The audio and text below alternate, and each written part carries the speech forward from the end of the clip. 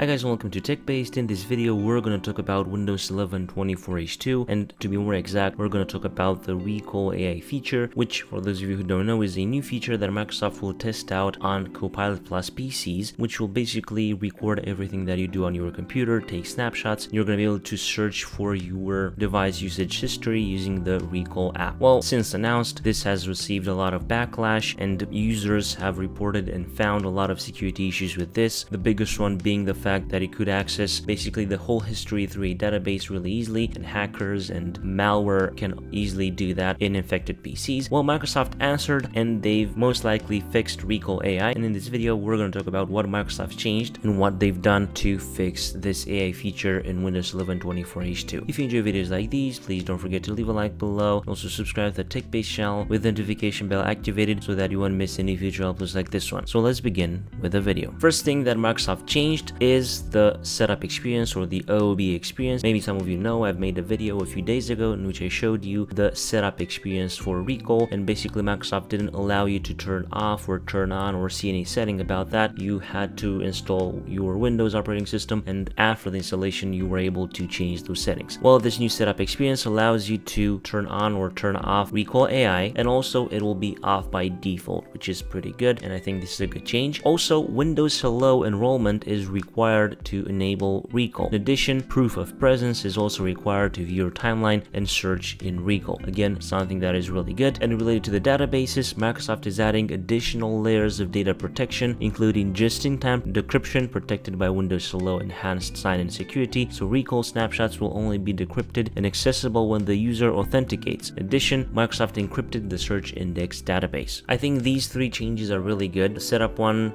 the Windows Hello requirement, and also the extra layer of data protection related to the database. I think that is pretty nice. And of course, if you want to see an in-depth overview of these security improvements, you can check out the article below and there you're going to be able to see the official Microsoft blog post. And yet again, Microsoft is doing some specifications. For example, snapshots are stored locally, so no internet or cloud connections are used to store and process snapshots. Also, snapshots are not shared. They're not shared to Microsoft or any other organization. And also, you will know when Recall is saving snapshots. You'll see Recall pinned to the taskbar when you reach your desktop and you'll have a Recall snapshot icon on the system tray letting you know when Windows is taking snapshots. Digital rights managed and in private browsing are not saved in supported web browsers and of course you can pause, filter, delete what's saved at any time. I think these are some pretty nice changes and clarifications made by Microsoft and of course let me know below in the comments if you would test out Recall AI after these changes by Microsoft. In my opinion it is really nice that we no longer have a security issue with the databases, but still I'm surprised that Microsoft decided to announce this feature when these issues were a thing. Well, it's good that Microsoft listens to feedback and they've listened, they've done some changes, and I think these changes should make Recall AI more reliable and much more secure. So as I've said, make sure to check out the official Microsoft blog post if you want to check out all the in-depth overview of these changes. And if you enjoyed this video, please don't forget to leave a like below and also subscribe to the TechBased channel with the notification bell activated so that you won't miss any future uploads like this one. I was Emmanuel from TechBased. Until next time, have a nice day.